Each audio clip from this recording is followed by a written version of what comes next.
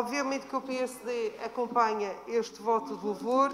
pelo Dia Internacional da Família que foi declarado pela Organização eh, Mundial de Saúde, em que, de facto, hoje mais do que nunca importa valorizar, reforçar e, sobretudo, proteger as nossas famílias. A, a Constituição portuguesa assim já o diz, diz que incumbe eh, ao Estado a proteção da família e daí que nós consideramos que uma sociedade do bem-estar tem necessariamente de garantir um conjunto de necessidades e tem de garantir um conjunto de medidas de proteção a estas mesmas famílias, no sentido de que elas possam desempenhar o seu papel. E foi nesse sentido que o PSD assinalou o dia 15 de maio, colocando, eh, sobretudo, e apresentando um projeto que vai no sentido precisamente de reforçar e alterar alguns critérios na área da proteção social que possam melhor apoiar as nossas famílias. Aproveitamos este voto para saudar todas as famílias da região autónoma da Madeira